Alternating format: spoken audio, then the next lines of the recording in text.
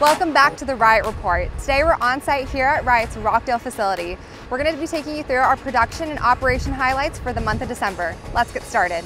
In December, Riot achieved a new record of 659 Bitcoin mined, which is approximately a 55% increase to our year-to-date monthly production.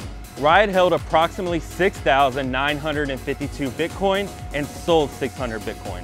With a deployed fleet of 88,556 miners, Riot has achieved a new all-time high hash rate capacity of 9.7 exahash.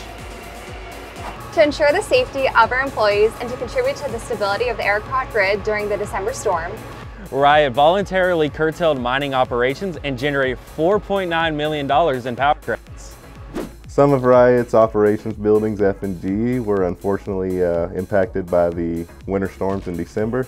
Right now, our teams are actively working to remedy any repairs needed. We're pleased to announce that Building D has reached completion with the final installation of indoor water cooling frames, completion of electrical testing, and miners fully deployed. Here in Building E, Riot's construction and engineering teams remain focused on the installation of our air rack cooling systems as well as electrical installation and testing.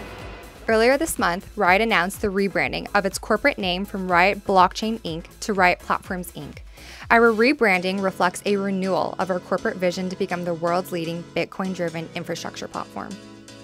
Thank you so much for watching the Riot Report. We'll be back next month with Riot's January production and operations update. We'll see you then.